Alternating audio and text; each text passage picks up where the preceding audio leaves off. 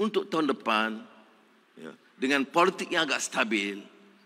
Jangan hirau lah tentulah kalau dalam perikatan nasional apa lagi nak sebut kerajaan goyang ada harapan lagi. Kalau tidak orang tinggal lah parti itu. Ya. Kalau PAS ni lain juga dia ada dia punya walak dia. Tapi kalau bersatu tak ada. Sebab tu ahli parlimen menyeberang. Dia kata kita bagi sokongan tak ada. Saya tak jumpa mereka sebelum mereka membuat keputusan. Bila dia minta nak jumpa, saya kata buat keputusan dulu boleh jumpa. Dan keputusan dia kerana dia tahu dasar kita.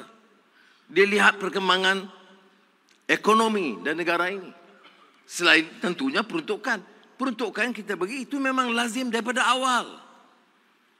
Ya. Dia katakan kita menafikan hak wakil rakyat tak betul. Gaji wakil rakyat, eh, allowance wakil rakyat itu kita tak pernah singgung. Peruntukan bagi kawasan kita tambah. Saya sebut di parlimen. Peruntukan di kawasan PAS atau bersatu. Di kawasan parlimen kita teruskan. Sekolah, masjid, perubahan-perubahan. Semua kita buat lakukan. Apa-apa projek pembangunan. Tapi kita tak salur melalui ahli parlimen. Yang penting kita salur kepada rakyat. Mengapa kita nak taruh pada ahli parlimen yang hari-hari cerca kita dan menumbangkan kita, maki kita?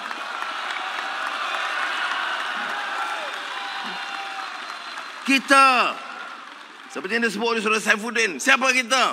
Orang yang men, men, mencoba Islam. Orang yang uh, mengkhianati Melayu. Lepas tu, kamu cari lain lah. Kamu pun dah pilih seorang tokoh untuk menjadi penasihat kamu. Biar dia carilah orang. Orang yang ambil, yang hentikan peruntukan sekolah agama. Orang yang menentang hukum syariah. Sekarang jadi penasihat kamu.